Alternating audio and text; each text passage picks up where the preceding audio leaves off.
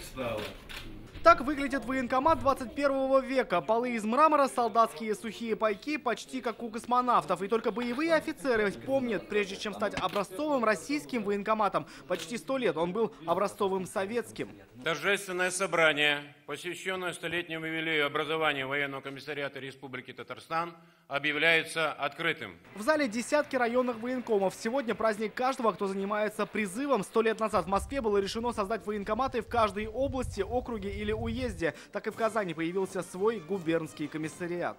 Военный комиссариат стал одной из первых государственных организаций, учрежденных в республике. Вслед за созданием Красной Армии это стало важнейшим актом по установлению надежной системы строительства новой армии и флота. Военкомат в тот период времени, в военные годы, работал на высоком уровне.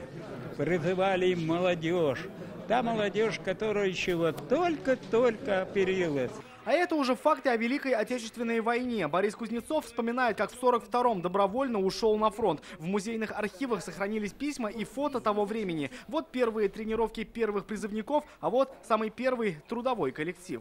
Фото датировано 23 годом, до Великой Отечественной оставалось 18 лет. Уже на следующем стенде можно увидеть, сколько людей тогда записалось на фронт добровольцами. Письма писали не только мужчины, но и женщины. Интересные условия, то есть требования, которые предъявлялись к девушкам. Рост был, должен был быть ниже метра пятидесяти пяти. Они все должны были быть физически здоровыми.